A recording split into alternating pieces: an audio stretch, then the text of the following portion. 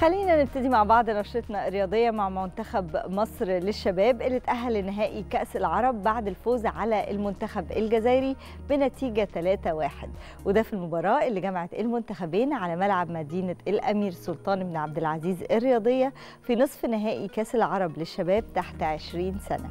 بالنتيجة دي الفراعنة بيتأهلوا لمواجهة السعودية في نهائي كأس العرب للشباب.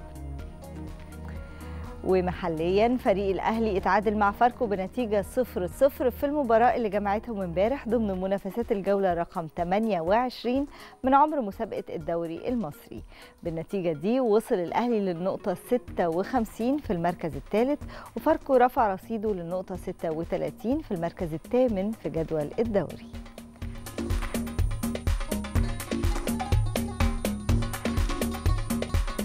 كمان البرتغالي روي فيتوريا المدير الفني لمنتخب مصر كان موجود في استاد السلام لحضور مباراة الأهلي وفاركو. فيتوريا وصل القاهرة عشان يتابع لعيبة الدوري المصري بترقب وعناية. ومن المقرر أنه هيحضر باقي المباريات اللي موجودة في الدوري الممتاز خلال الفترة الجاية بالتنسيق مع جهازه المعاون. الزمالك كمان بيواصل استعداداته في مباريات الدوري الممتاز. وامبارح الفريق كان عنده تدريبات جماعية على ملعب عبد اللطيف أبو رجيلة قبل ما يسافر الجونة لمواجهة الفريق الساحلي بكرة. وخضعت اللاعبين لتدريبات استشفائية قبل ما ينتظموا في التدريب الجماعي وكمان اتدربوا تدريبات بدنية عشان يكونوا جاهزين للمشاركة في لقاء بكرة. مجلس إدارة نادي المقاولين العرب تمم الاتفاق مع شوقي غريب لقيادة الفريق الأول لكرة القدم في النادي وتم الاتفاق على كل التفاصيل والمفروض أن الكابتن شوقي هيقود الفريق عشان يستعد لمباراة بيراميدز اللي جاية. ونشوف بقى أخبار منتخب مصر للناشئات. منتخب ناشئات كرة اليد فاز على المنتخب البرتغالي بنتيجة 24 22 في إطار أول لقاءات الدور الرئيسي ببطولة العالم اللي بتستضيفها مقدونيا. بكده بيضمنوا التأهل للدور ربع النهائي واللي هيواجهوا فيه المنتخب الدنماركي بكرة الساعة واحدة ونص الظهر.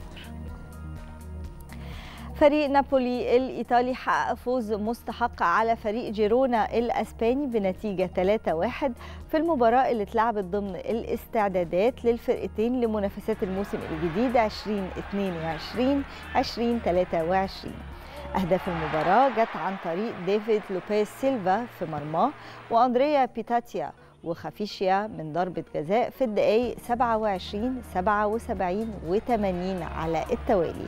وهدف جيرونا سجله فالنتاين كاستيلانوس في الدقيقة 56 وهيخوض نابولي مباراة ودية تانية قدام فريق إسبانيول الأسباني بعد بكرة في ختام الاستعدادات للموسم الجديد في الدوري الإيطالي.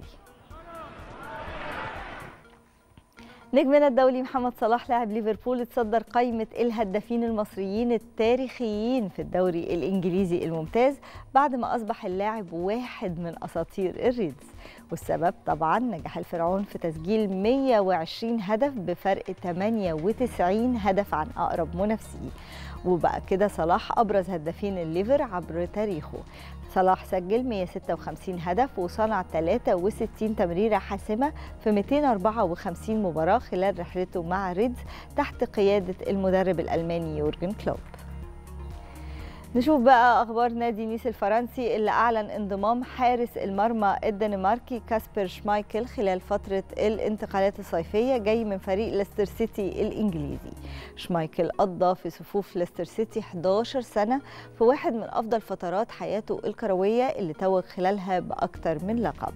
وشارك كاسبر في 500 مباراة مع ليستر ونجح في رفع ألقاب الدوري الإنجليزي وكأس الاتحاد والدرع الخيرية والتشامبيونشيب رجع فريق ريال مدريد الإسباني للتدريبات الجماعية عشان يستعد لمواجهة اينتراخت فرانكفورت في مباراة السوبر الأوروبي واللي هتتلعب يوم 10 أغسطس.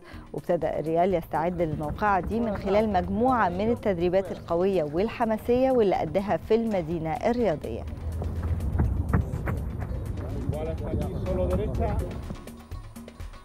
تشيلسي الإنجليزي قدر يحسم صفقة الباك الشمالي الإسباني ماركو كوكوريلا لاعب برايتون خلال سوق الانتقالات الصيفية الجارية ومتفوق على نظيره مانشستر سيتي وده بعد منافسة قوية بين الطرفين. بعض التقارير الإنجليزية قالت أن تشيلسي وصل فعلا لاتفاق نهائي مع نادي برايتون عشان يضم كوكوريلا لصفوف البلوز في صفقة وصلت قيمتها ل 52.5 مليون جنيه استرليني خصوصا أن نادي المان سيتي دخل في الصفقة وكان عايز يحصل عليها لكن اللاعب اختلف مع فريقه في المقابل المادي وهنا دخلت تشيلسي واتفوقت وحصلت على خدمات اللاعب. أخبارنا الرياضية خلصت عودة لزملائي جمانة ومصطفى لاستكمال باقي فقراتنا في صباح الخير. اتفضل